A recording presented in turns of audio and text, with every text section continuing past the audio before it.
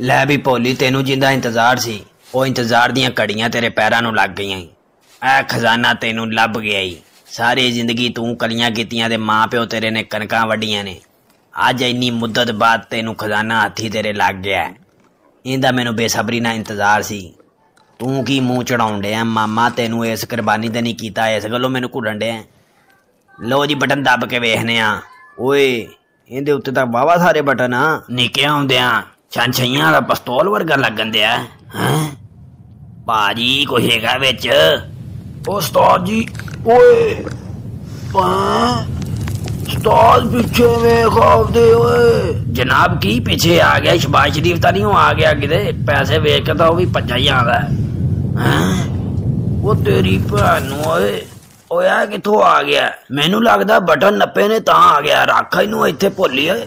ਹਾਂ ਵੀ ਸ਼ੇਖ ਰਸ਼ੀਦ ਦੱਸ ਮੈਨੂੰ ਹੁਣ ਕੀ ਕਰਾਂ ਬਟਨ ਨੱਪਾਂ ਕੇ ਰਹਿੰਦਿਆਂ ਨੱਪ ਦਿਓ ਫਿਰ ਮਧੂਰੀ ਨੂੰ ਯਾਦ ਕਰਕੇ। ਐਲਾ ਫਿਰ ਉਹ ਸ਼ੇਖ ਰਸ਼ੀਦ ਹੈ ਕੀ ਆਣ ਲੱਗ ਪਿਆ ਓਏ? ਉਹ ਤੇਰੀ ਖਾਰ। ਹਾਂ ਮੈਨੂੰ ਲੱਗਦਾ ਪੌੜੀਆਂ ਵਾ ਅੰਦਰ ਜਾਣ ਦੀਆਂ ਖਜ਼ਾਨਾ ਫੜਨੇ ਆ।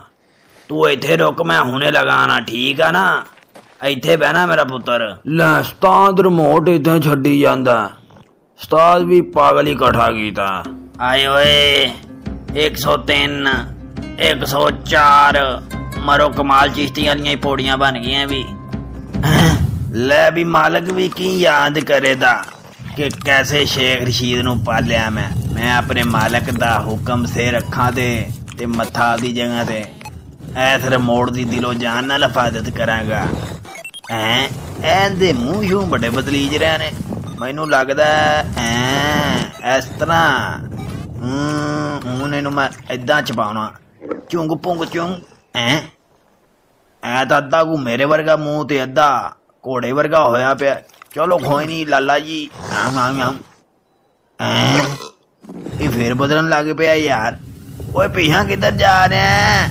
ਓਏ ਉਸਤਾਦ ਦਾ ਵਿੱਚ ਹੀ ਆ ਮੇਰਾ ਉਹ ਉਸਤਾਦ ਜੀ ਹੈਗੇ ਹੋ ਕਹ ਨਹੀਂ ਪੁੱਤਰ ਤੈਨੂੰ ਅਗਲੀ ਕੁਰਬਾਨੀ ਤੇ ਲਾ ਕੇ ਹੀ ਮਰਾਂਗਾ ਓਏ ਤੱਕ ਓਏ।